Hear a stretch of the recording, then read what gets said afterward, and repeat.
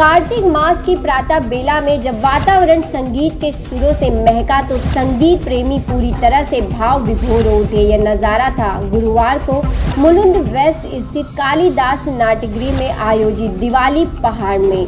मुलुंद सेवा संघ की ओर से आयोजित इस संगीतमय कार्यक्रम दिवाली पहाड़ में दत्ता मिस्त्री माधुरी कर्मकर निमित्ता केकरी ने मनमोहन गीतों से प्रस्तुति दी। उसके बाद राजनीति जगत से भाजपा नेता किरीट सोमैया, आमदार आशीष सैलार, सांसद मनोज कोटक, आमदार मिहिर कोटेजा पहुँचे। पूरा ऑडिटोरियम लोगों से भरा रहा यह आयोजन। भाजपा नगर सेवक प्रकाश गंगाधरे के नेतृत्व में किया गया। इस दौरान एक अलग ही सुबह के ही समय लोगों की इतनी बड़ी भीड़ देखने को मिली इस दिवाली के कार्यक्रम के दौरान। तो इस दौरान मीडिया से पहुँचे हुए लोगों का क्या कुछ कहना था, देखिए यह खास रिपोर्ट।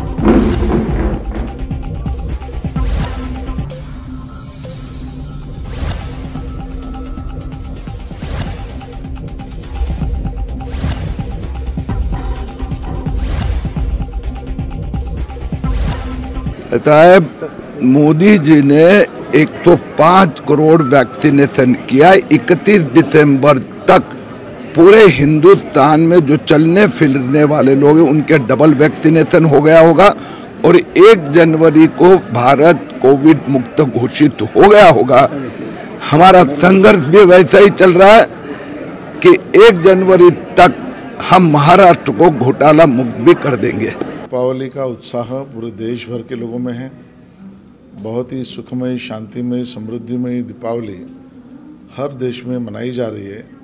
मुंबई में इस मुलुंड विभाग में हमारे लोकप्रिय नगर सेवक, पार्षद प्रकाश गंगाधरे जी के माध्यम से, भारतीय जनता पार्टी के कार्यकर्ताओं के माध्यम से यहाँ पर दीपावली की पहाट यानी सुबह सुबह दीपावली का आनंद उठाने का कार्यक्रम हो रहा है, मैं उनको सारी शुभकामनाएँ देता हूँ। 105 करोड़ के ऊपर वैक्सीनेशन माननीय मोदी जी के नेतृत्व में इस देश में पूरा हो चुका है।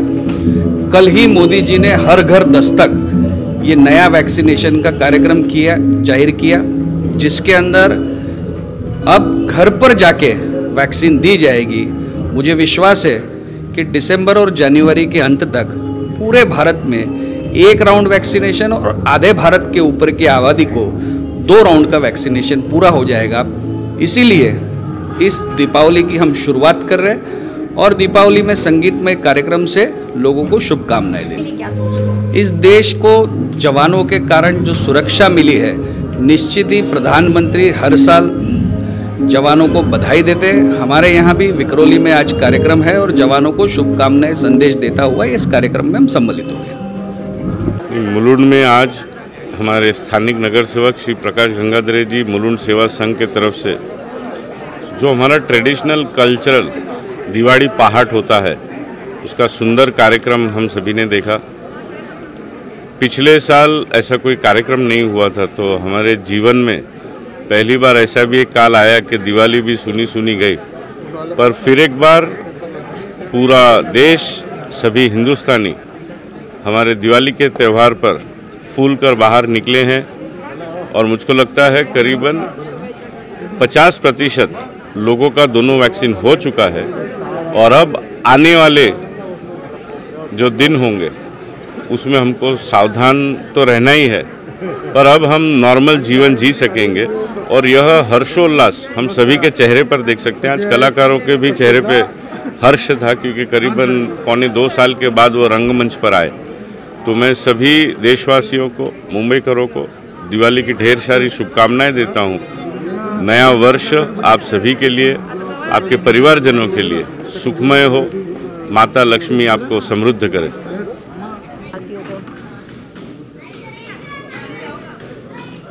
सबसे पहले मुलुंड सेवा संघ के तरफ़ से दीपावली की सभी को शुभकामनाएँ।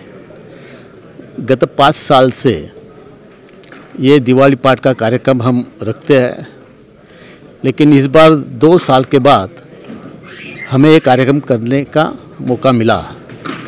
कोविड काल में सभी लोग घर में थे और इसलिए लॉकडाउन ओपन होने के बाद मैं समझ सकता हूँ कि सब लोग घर में परेशान थे। आज दिवाली के निमित्त कालिदास नाट्यगृह भी खुला है और सभी लोगों ने यहाँ दिवाली पार्ट मनाने के लिए आए और उन्होंने बहुत अच्छे तरह से आनंद लिया। तो जिस तरह से अगर ये दीपाली पहाड़ की इसकी बात करें तो इसका क्या महत्व है जो सुबह की सुबह ये सुबह छः बजे इस तरह का आयोजन किया जाता है? देखो दिवाली में हम सुबह ही उठते हैं। तो तो एक प्रकार का सुबह उठना तो सुबह उठते ही संगीतमय वातावरण हो धार्मिक वातावरण हो और इसलिए सुबह उठकर लोगों को मिले लोगों को एक दूसरे को आशीर्वाद दे एक दूसरे से मिले अच्छे भाव से दिवाली मनाए यही एक निमित्त है। तो जिस तरह से आपने इसका आयोजन रखा लेकिन कोविड का कहीं ना कहीं लोगों के मन में थोड़ा सा डर है लेकिन आज जो बड़ी संख्या है हमने यहाँ पर देखी और मुख्य अतिथि के रूप में भी काफ़ी भाजपा बड़े नेता वरिष्ठ नेता भी पहुँचे तो किस तरह देखते हैं कि लोग कितने उत्साहित है इस बार दिवाली को लेकर? मैं सभी सभी को धन्यवाद दूँगा कि मेरे इनविटेशन से सभी नेता यहाँ आए। प्रख्यात एक्टर हास्य कर्मी भाऊ कदम यहाँ आए। किरीट सोमय आया खासदार आए, आशीष शेलार जी आए। ये सब लोग एक दूसरे को आशीर्वाद देने के लिए आए हैं। मैं बोलता हूँ दो साल के बाद यहाँ हम लोग दिवाली सम्मेलन किया है और लोगों का एक आनंद देना, साल में एक बार एक दूसरे को मिलना, एक दूसरे का परिचय करके लेना, ये आप देख रहे हैं सक्षम न्यूज़ इंडिया। सबसे पहले, सबसे तेज।